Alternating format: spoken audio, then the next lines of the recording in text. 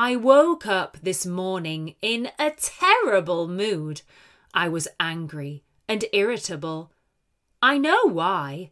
I had a horrible dream, and it's a recurring dream that keeps haunting me when all I want is a peaceful night's sleep.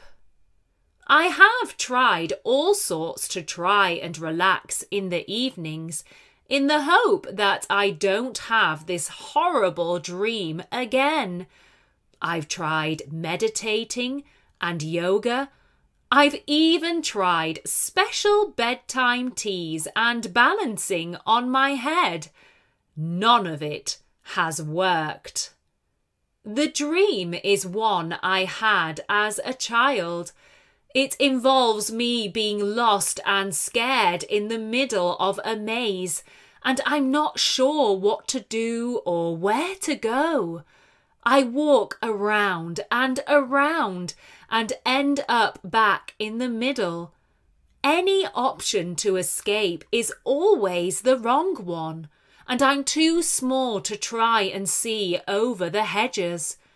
As I walk around the endless options of the maze, I'm shouting for help, but no sound is coming out. I feel helpless and then quickly become frustrated. I feel like I'm screaming into the void and no one cares. The dream often rears its ugly head when I'm having a stressful time. I used to have the dream a lot when I was a kid and had exams, or if my parents were arguing. When they got divorced, I had the dream a lot. Sometimes I would be trapped in the maze, and other times it would be a building. These days, I have the dream when I feel frustrated with my daily life, or if work is getting too much. It's so frustrating that my brain is trying to taunt me in this way, and there seems to be nothing I can do to stop the maze from freaking me out in my dreams. It's silly, but the dream has actually made me a little afraid of mazes. I've been in a few with friends and I can always feel myself getting sweaty palms. My heart beats faster, and I feel anxious. It's silly, I know, but I can't help it. I'm always scared I won't be able to get out, and if I scream and wail, no one will care. I know why I'm having the dream at the moment. I kind of suspected that it would come back again. Maybe me wondering is what made it seep into my subconscious thoughts. So, I've had a few stressful things happen to me lately. The first big thing is that I'm moving house so I've got lots of paperwork to do, which I always find irritating. The second thing is my dog passed away. I was so sad, and it makes me even sadder to think that he won't be with me in my new home. And the third thing is that I'm not really enjoying my job. I mean, it's okay, but I don't love it. I think the dream is probably representing that I feel trapped in the job. I need the job to get a house, but then I'm staying in a job just to keep a house. It's an endless circle of feeling the need to do things, and it makes me feel trapped. I feel like I'm in the middle of a maze in my life, and there are so many options available to me, and I don't know which one to take. I'm trying to take a step back and reassess my options, but it often feels quite overwhelming. I know I'm not the only one to feel like it. I think it's quite common nowadays. But it doesn't feel like it when I wake in the middle of the night, shaking after my awful nightmare. Life can be wonderful, and I need to remember that. Maybe I just need to chill out a bit and stop worrying. But that's easier said than done, isn't it? Some of my friends are so relaxed.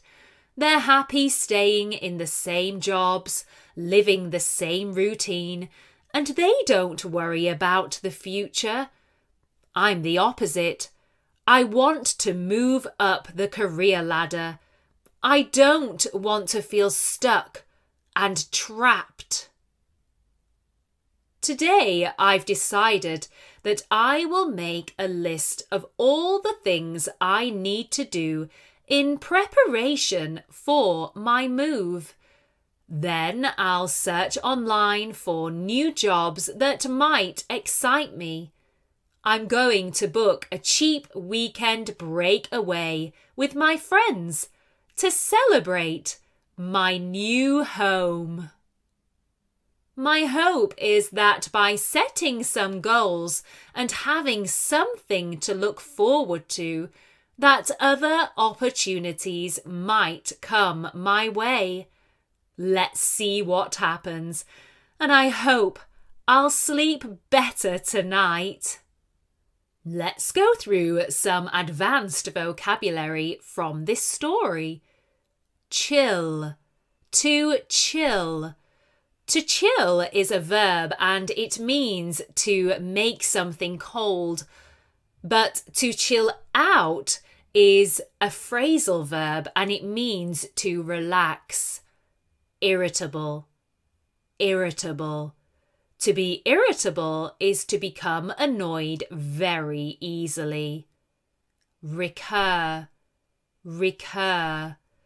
If something recurs, then it happens many times. Overwhelming, overwhelming. If something is overwhelming, then it can be stressful and difficult to fight against. Now let's go through some intermediate vocabulary. Endless, endless. If something is endless, then it has no end or limit. Haunting, haunting. If something is haunting, it can make you feel sad and you can remember it for a long time. Rear, rear. If something is at the rear, it is at the back of something. Represent, to represent. To represent is to be a sign or symbol of something. That's the meaning in this story. Suspected, suspected. If something is suspected, it is believed to be true or to exist. Involve. Involve. Involve means to include. Stuck. Stuck. If something is stuck, it is unable to move or is set in a particular position or place. Trapped. Trapped. Trapped is similar to stuck, and it means to be unable to get out of somewhere